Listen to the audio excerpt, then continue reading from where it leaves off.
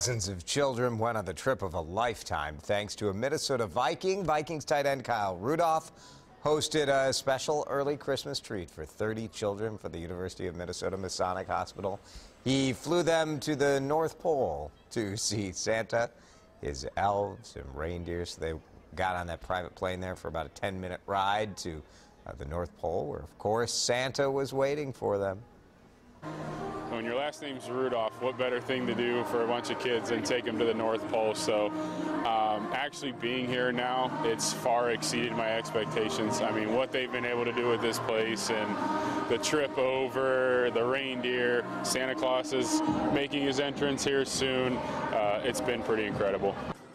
It's pretty good, right? They set up a dance floor for the kids to uh, have a good time with, and uh, plenty of treats for the kids to enjoy, too. I like that he's making good use of his last name. Very Right, cute. right. Well,